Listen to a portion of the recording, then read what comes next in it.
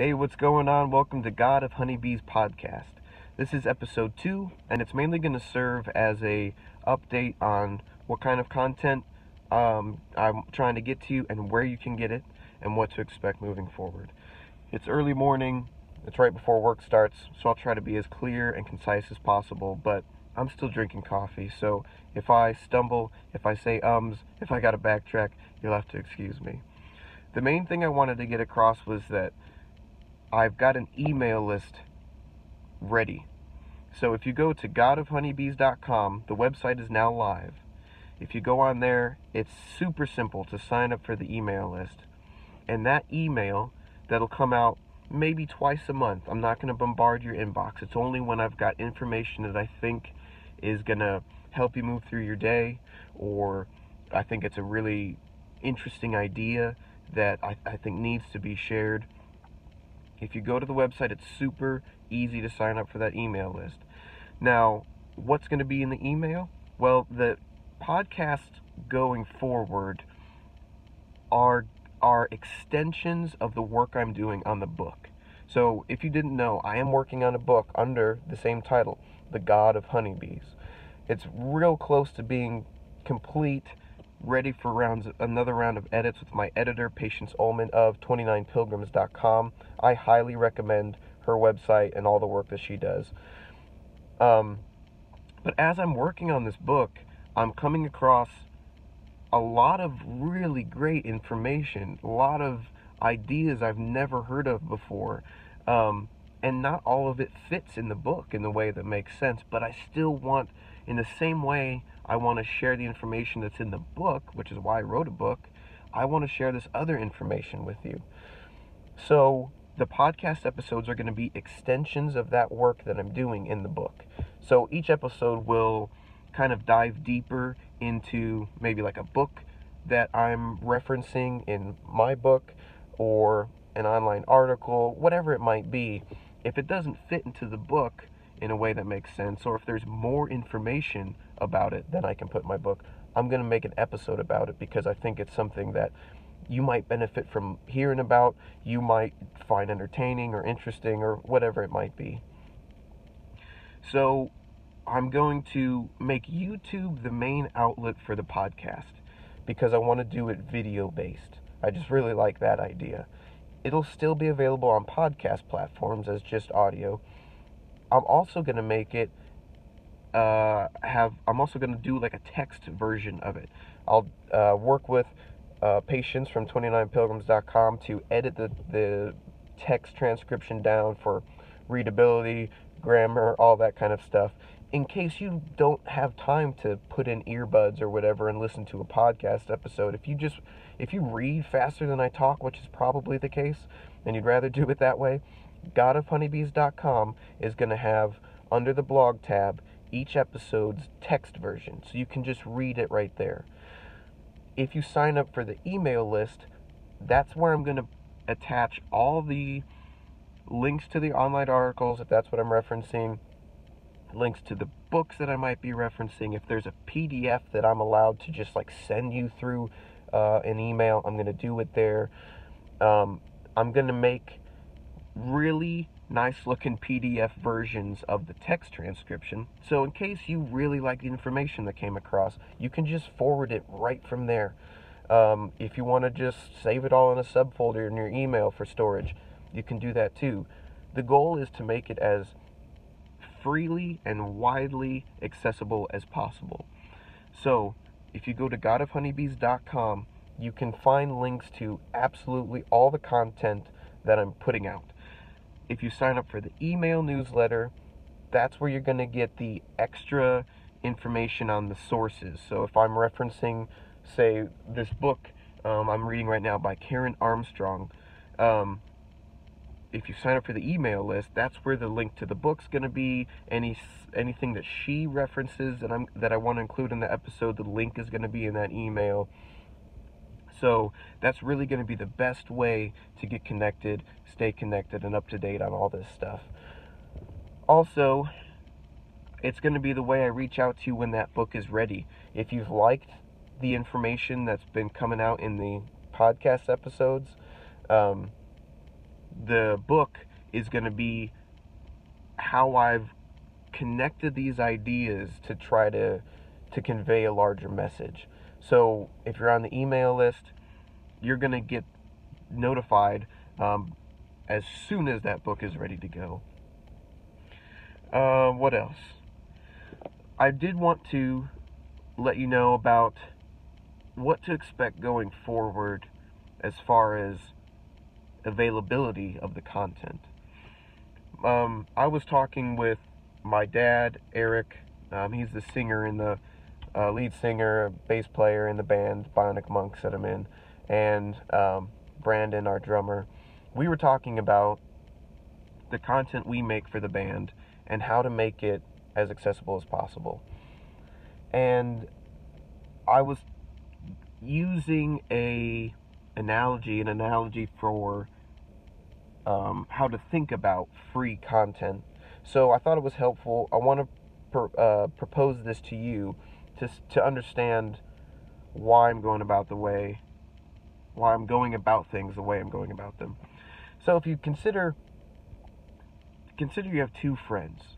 One friend, every time you meet up with them and you talk about something interesting you came across, some interesting article or interesting idea, or maybe some life experience that you've went through and you're wanting to share with them.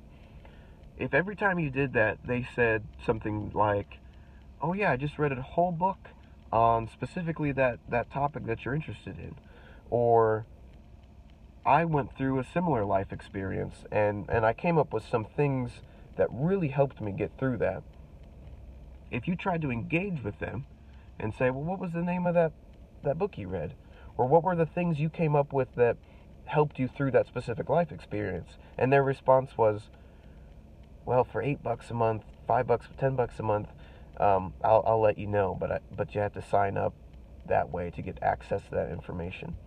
That's not going to do a damn bit of good, because if you can't pay them that that amount of money each month, you'll just do without that information, right?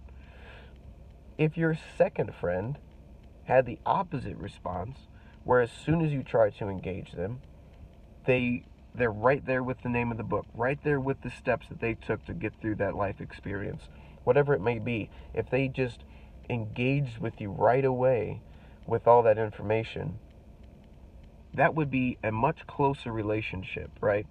Now consider further down the road, both of them come to you at separate points and say, "Hey, I'm working on a project if you might be able to swing five bucks a month to just help me help the project stay going, that would be awesome. If you can't, don't worry about it.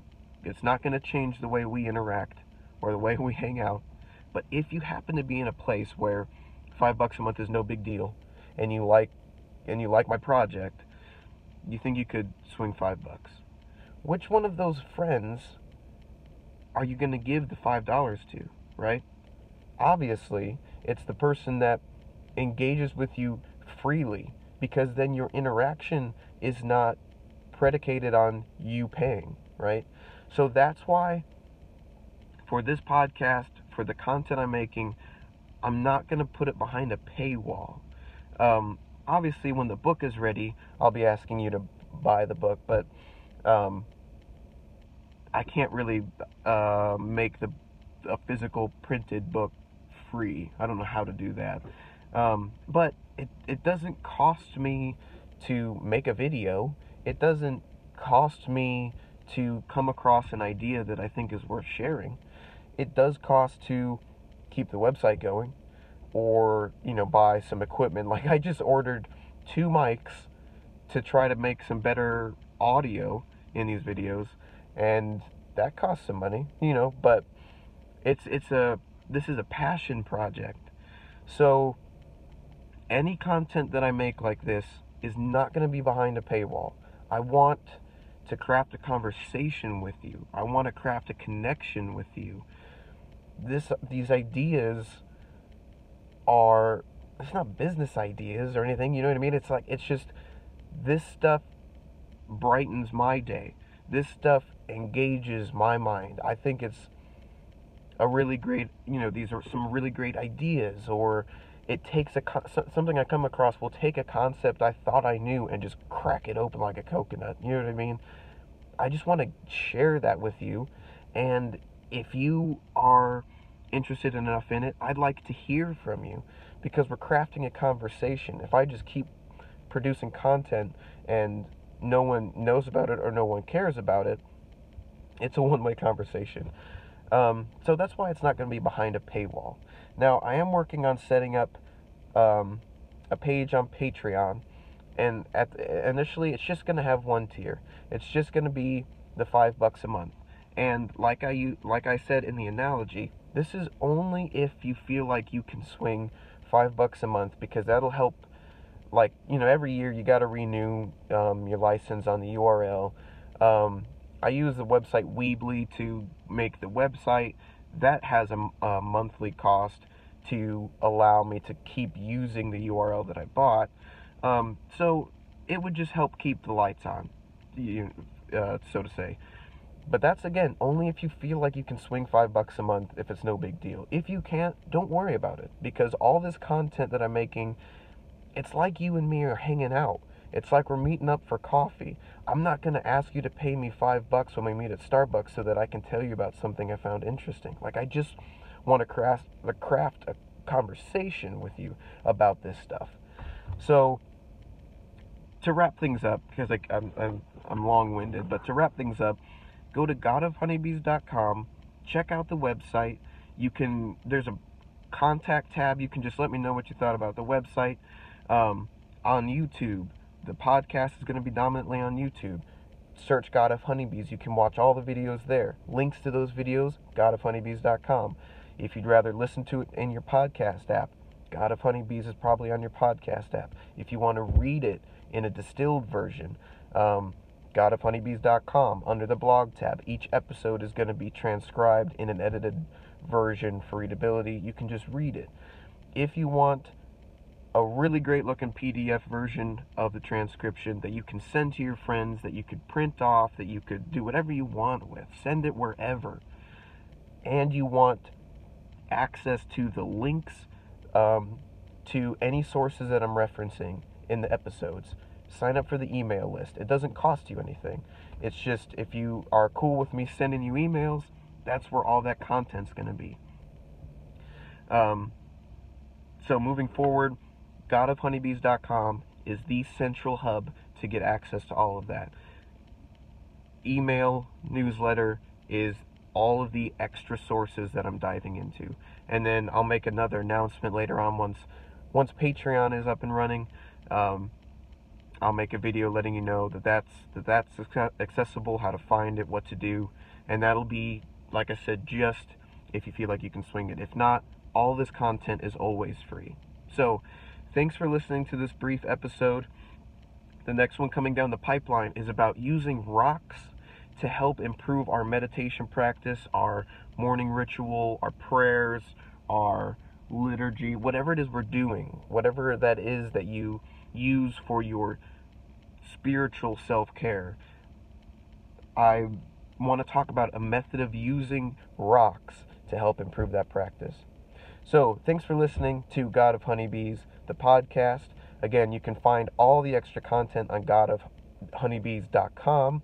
Um, you can find me on Instagram at God of God of Bees Podcast, and consider signing up for the email newsletter so that I can get you all the information on the extra content that I think you might really find interesting. Thanks again.